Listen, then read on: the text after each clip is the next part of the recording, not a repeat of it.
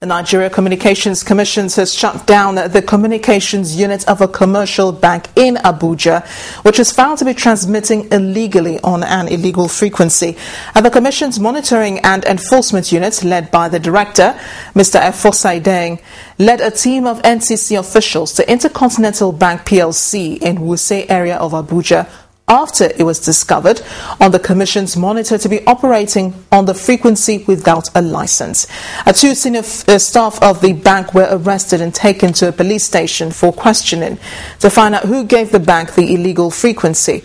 Ms. Idehen said commercial banks are the major patronizers of illegal frequencies and warned that subscribers are not exempted from sanctions in the use of illegal frequencies. Our correspondent Omelogo Nadi has more.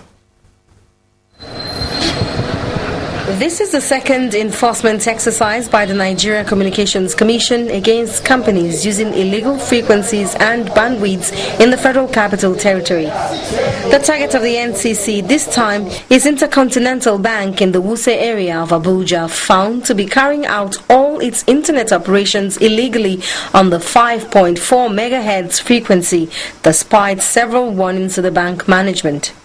A raid on the bank led to a seal-off of its communication unit and the arrest of two key officials. The gentleman here, Mr. Adedayo, is a support staff, the IT support uh, staff, and um, the, the, operations manager, Mr. Abdullahi. Uh, they are going to help the police in further investigations on the matter of the illegal transmission We've given public notice. We did one in April, we did one in June. And because we found banks on this frequency, in November we issued another public notice.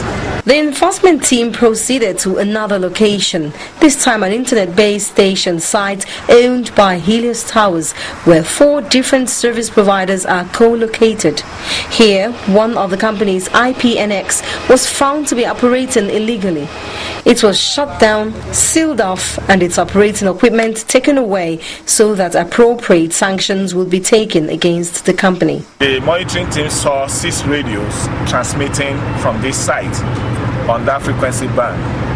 And as at now, we've disabled all those radios. We are just waiting for their riggers to come here and pull them down from the towers.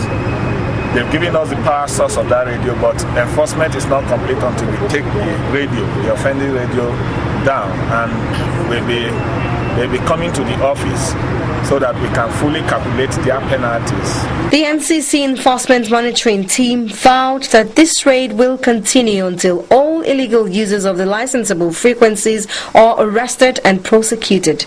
NCC also said companies, especially banks and other big institutions, must ensure that their providers are operating via legally licensed frequencies, as no one will be exempted from its sanctions.